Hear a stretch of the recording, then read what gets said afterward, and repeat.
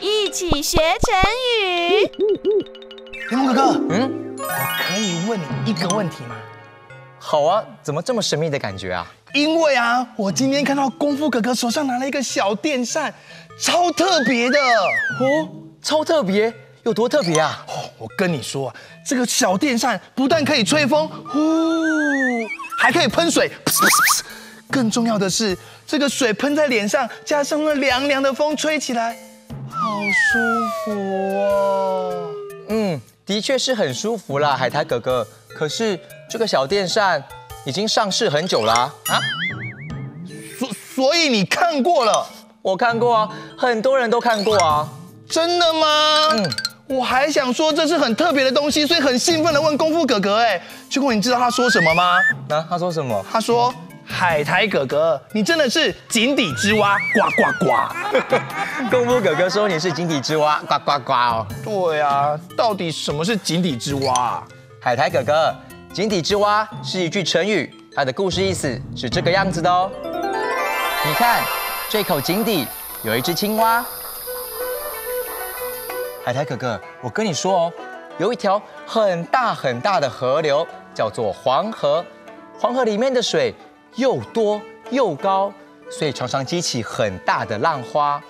黄河里面呢，住着一位河神，叫做河伯。这个河伯常常觉得。自己应该是这个世界上最大的河了，应该没有任何一条河流可以与它相比哦。我这条黄河是世界上最大的河，所以我就是世界上最伟大的河神呐！河伯相当得意的往前走，河水流啊流的，流到了北海。这个时候。河伯发现了一件不得了的大事，北海竟然比他的黄河大上好多好多倍啊！这个时候，河伯才知道，原来啊，它不是世界上最大的河，原来我只是一条小河。唉，北海啊，您才是世界上最伟大的河。不是，不是，我没有你说的那么伟大。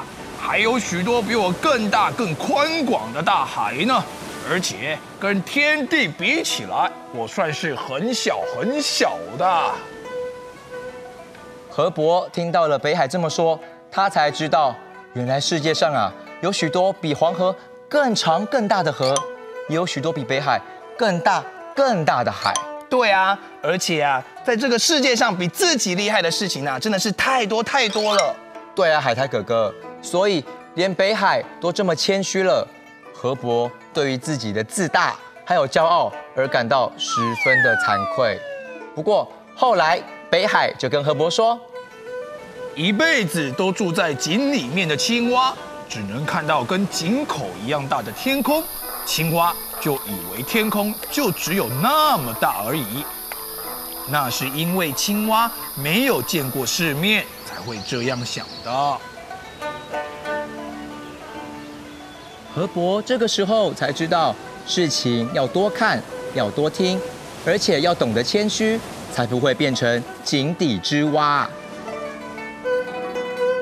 这个呢，就是井底之蛙成语的由来，就是在说那些眼光短小、见识浅薄、不知道天高地厚差别的人。哦哦，嗯，所以功夫哥哥是在笑我见识。见识什么浅薄了？对了，海苔哥哥，你不要灰心。